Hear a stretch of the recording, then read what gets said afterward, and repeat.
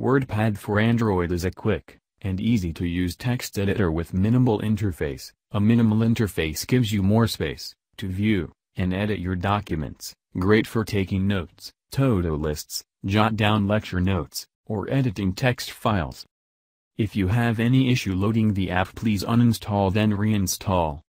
Here are the features include. First, optional automatic saving of documents.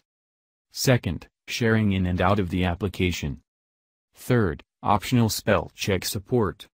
Fourth, minimal, clean interface. Fifth, quick and easy to use. Sixth, custom themes. Seventh, support for large files, tested with 10 megabyte file. 8. History of recent documents. Ninth, multiple character set encoding options. Beta note, please note this is currently in beta, if you have any major issues please send an email, or post on the forums at forum.stadevelopers.com web link, um web link.